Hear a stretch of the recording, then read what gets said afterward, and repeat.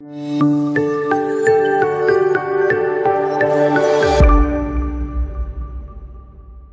Of the students जो होते हैं, उनका जो बैकग्राउंड होता है, वो like graduation in economics plus masters in economics but still वो अदर ऑप्शनल में जाते हैं फॉर एग्जांपल सोशोलॉजी एंथ्रोपोलॉजी और ये बहुत से स्टूडेंट्स हैं जो इस डाउट में रहते हैं। Could you please explain obviously ma'am a very good question see ma'am the thing is कि इकोनॉमिक्स को लोगों ने एक डर का पर्यायवाची बना लिया है। यू you नो know, उनको ऐसा लगता है that if you are talking about economics so maths is included there if you are talking about economics there will be numericals all these things लेकिन ऐसा कुछ भी नहीं है यूपीएससी के साथ।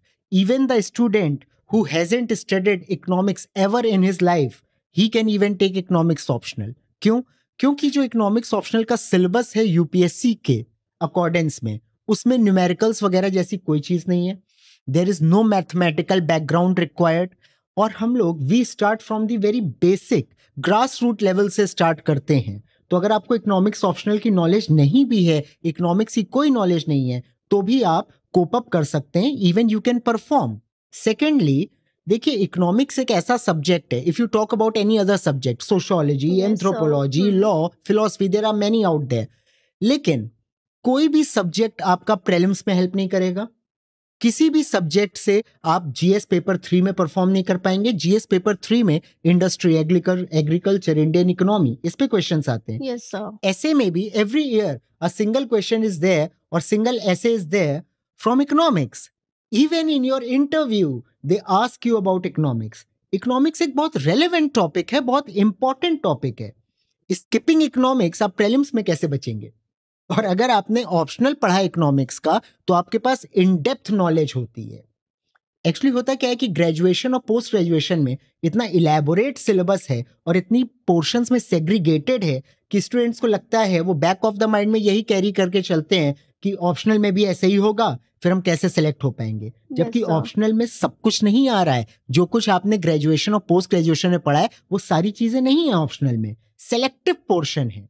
और न्यूमेरिकल पोर्शन तो बिल्कुल भी नहीं है। तो अगर कोई स्टूडेंट इकोनॉमिक्स ऑप्शनल लेता है तो अपनी हेल्प कर रहा है प्रेलिम्स में because 18 to 20 questions every year come from the economic section even 50 percent of portion हमारा जो रहता है वो हमारे जीएस में ही बहुत अच्छे से कवर हो जाता है।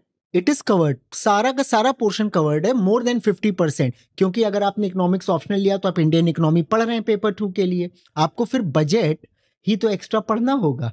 राइट यस बजट और सर्वे आपको एक्स्ट्रा पढ़ना होगा। उसके बाद डेवलपमेंटल इकोनॉमिक्स के क्वेश्चंस आते हैं जीएस पेपर थ्री में। मेन्स आंसर राइटिंग में जीएस पेपर थ्री में डेवलपमेंटल इकोनॉमिक्स के क्वेश्चंस आते हैं। डेवलपमेंटल इकोनॉमिक्स हम लोग पेपर टू में भी पढ़ते हैं इकोनॉमिक्स ऑप्शनल में और पेपर वन में भी पढ़ते हैं। ऐसे जो आता है वो आपका इंडस्ट्री एग्रीकल्चर पे आता है वो भी हम पेपर टू में पढ़ते हैं।